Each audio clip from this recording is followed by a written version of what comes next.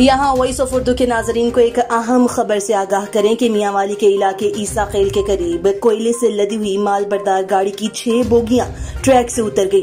नाजरीन, अहम खबर मियांवाली से आ रही है कि ईसा खेल के करीब कोयले से लदी हुई माल बरदार गाड़ी की छह बोगियाँ ट्रैक से उतर गईं। हादसा दाद खेल और ढेर उम्मीद अली शाह स्टेशन के बीच में पेश आया। मालगाड़ी पर कोयला सीमेंट फैक्ट्री दाऊद खेल लाया जा रहा था। हादसे में कोई जानी नुकसान नहीं हुआ तहम महकमा रेलवे ने इमदादी कार्रवाइयाँ शुरू कर दी।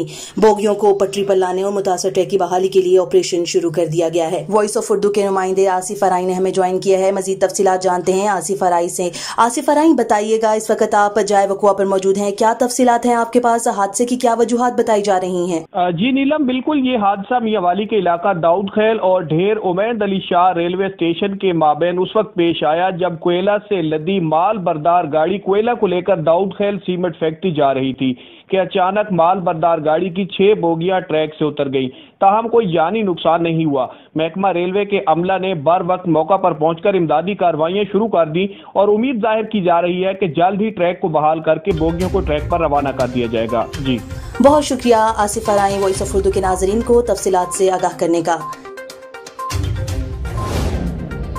मजीद खबरों के लिए हमारी वेबसाइट www.voiceofurdunews.nl या फेसबुक पेज पर क्लिक करें। इसके अलावा आप यूट्यूब चैनल को भी सब्सक्राइब करके न्यूज़ अपडेट्स ले सकते हैं। देखते रहिए वॉइस ऑफ़ उर्दू।